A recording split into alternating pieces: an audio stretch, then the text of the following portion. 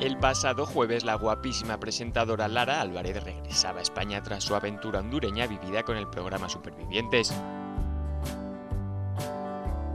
Y es que la final del reality show que se celebra este domingo 12 de julio hace que terminase una etapa para Lara. Una experiencia irrepetible para la presentadora, pues se ha puesto este año en la piel de Raquel Sánchez Silva como su sustituta en la isla, donde organiza el reality show de supervivencia más famoso de la televisión. Y ahora que Lara ya se encuentra en nuestro país, no ha dudado ni un segundo en correr al lado de su novio, el piloto de Fórmula 1, Fernando Alonso. Así nos lo ha mostrado con una tierna imagen que colgaba en su perfil de Instagram.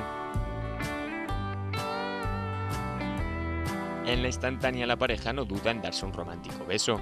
Mi mayor recompensa, escribía la presentadora en el post que se adjunta a la imagen.